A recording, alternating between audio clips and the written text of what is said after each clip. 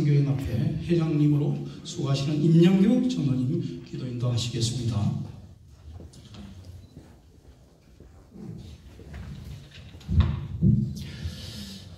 살아계신 하나님, 오늘 제 43차 한직선 중앙위원회를 모이게 하시고 직장 선교 연합의 힘으로 도약하라 라는 주제로 성회를 허락하신 하나님께 감사와 영광을 올려드립니다. 인생의 중심에 예수 그리스도를 모신 정체성과 땅끝 선교지인 직장 선교의 동역자로 세워주셨으니 감사드립니다. 대한민국 모든 직장마다 직장 선교를 허락하여 주시옵소서 모든 직장마다 그리스도의 계절이 임하사 모든 직장인마다 그리스도의 삶의 방향으로 바뀌게 도와 주시옵소서. 오늘 우리가 나라와 민족을 위해 기도할 때에 우리의 기도를 통해 우리나라가 분열해서 통합으로 나아가게 해 주시옵소서. 자기 중심주의, 집단 이기주의, 편향된 가치관에서 벗어나게 해 주시옵소서. 무너진 도덕성과 올바른 가치관, 바른 인성은 회복되게 해 주시옵소서 기도와 말씀으로 한국 교회와 대한민국이 회복되게 해 주시옵소서 우리가 오늘 기도할 때 온갖 특권과 특권 의식도 사라지고 공정과 공평함의 은혜로 축복하여 주시옵소서 성령님께서 부족한 우리를 사용하셔서 이 귀한 사명 잘 감당하게 하시니 감사드립니다. 우리를 통해 복음이 필요한 직장에서 땅끝 선교를 믿음으로 감당하게 도와주시옵소서 복음 상실 위기 시대에 직장마다 연합회마다 지역이 연합하고 직능이 연합하여 한 영혼 한 영혼을 위해 제자 사역의 사명 잘 감당하게 우리를 사용하여 주시옵소서.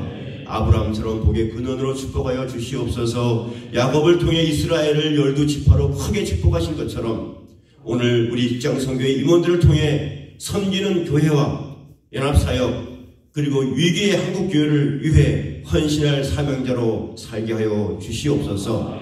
받은 사명이 이처럼 귀하고 놀라우니 날마다 선한 영향력으로 선교와 구제와 봉사와 교육과 동료들을 돌아보는 일에 더욱 힘쓰게 해 주시옵소서. 오늘 우리의 예배가 복음의 진보가 되기를 원합니다.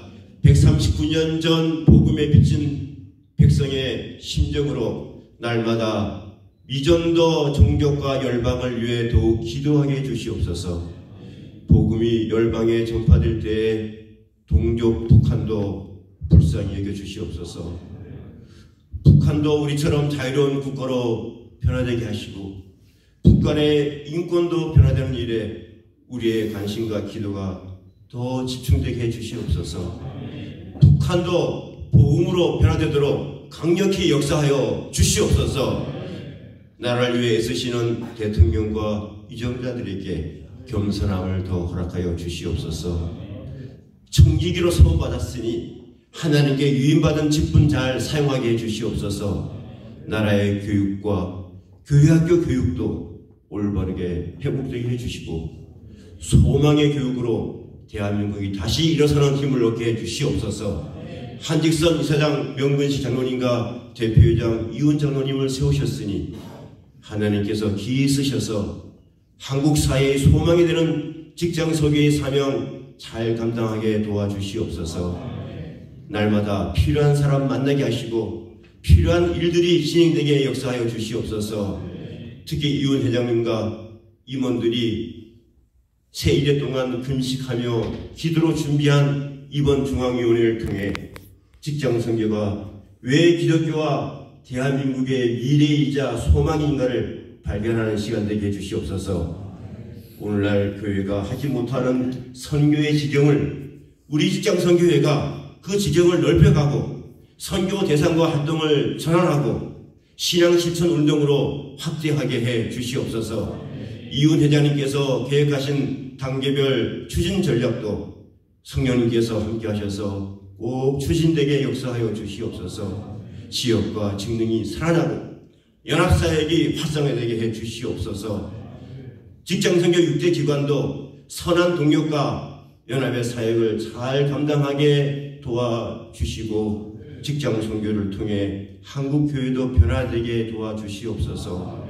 이미 축복받은 대한민국이 그 축복을 나누는 선교적인 사명도 잘 감당하게 도와주시옵소서. 수고하신 이분들께 저들이 모아 기도한 그 손으로 행하는 모든 일마다 축복하여 주옵소서. 전국 곳곳에서 모인 동역자들 축복하여 주시옵소서. 이제 하나님께서 기 쓰시는 전창희 목사님께서 하나님의 말씀을 선포하십니다. 말씀을 들을 때 우리에게도 은혜가 되게 도와주시고 종교교회를 크게 들어주셔서 직장선교의 사역도 크게 축복하여 주시옵소서 제43회 중앙위원회에 꼭 필요한 말씀이 선포될 때 성령의 은혜로 깨닫게 하시고 실천하게 역사하여 주시옵소서 예수님의 이름으로 간절히 기도드리옵나이다. 아멘